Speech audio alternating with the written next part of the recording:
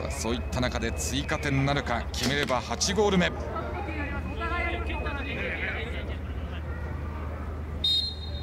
止められるか土井。森島。決めました。PK をしっかりとものにした森島。藤枝追加点です後半の7分。鈴木が得た PK しっかりとその思いを乗せて蹴りました森島。大きな大きな追加点。これで2点差。